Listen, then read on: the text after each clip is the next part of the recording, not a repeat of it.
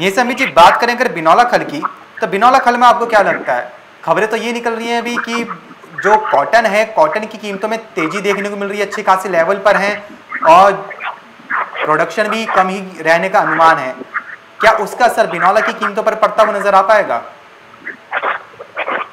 जी बिल्कुल, देखिए, फ़िलहाल तो देखने मिला है और कुछ समय पहले जैसे हमारी बात हुई थी कि तेईस सौ के आसपास बॉटम आउट हो चुका है, ऐसा लग रहा है और सत्ताईस सौ तक जाने की संभावना है। तो हमने एक दो अटेम्प्ट ज़रूर देखे हैं, छब्बीस सौ पचास तक की भी देखे हैं बिलाला खल में। और मुझे लगता है कि एक एक दायरे का कारोबार हो रहा है। लेकिन कुछ ही समय में हमें सत्ताईस सौ तक के लगन दोबारा देखने मिलेंगे। और हो सकता है कि एक्सट्रीम केस में करीबन अट्ठाईस सौ बीस तक जाने की भी संभावना है। तो जो एमसेक्स कॉटन पे एक ऊपरी दबाव है इन द सेंस की अपसाइड ट्रेंड है वो बिना खल में भी रिफ्लेक्ट होगा ऐसा मेरा मानना है।